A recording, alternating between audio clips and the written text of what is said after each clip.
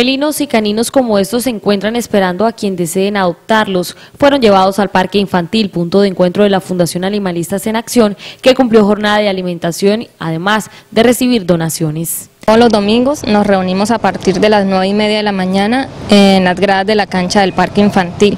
De aquí arrancamos a hacer un recorrido por diferentes sectores de la ciudad, donde alimentamos a perritos y gaticos callejeros, también damos en adopción, eh, nos damos a conocer, ayudamos a personas que si tienen animalitos para dar en adopción, los ofrecemos durante las jornadas.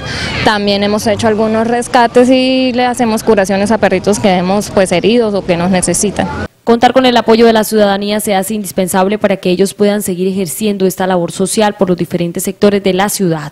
Que nos acompañen y nos apoyen. Necesitamos muchísima ayuda, somos muy pocos los que estamos en esta labor de corazón entregados y cada vez hay más y más y más casos de maltrato animal, de abandono animal. Y nosotros trabajamos con recursos propios.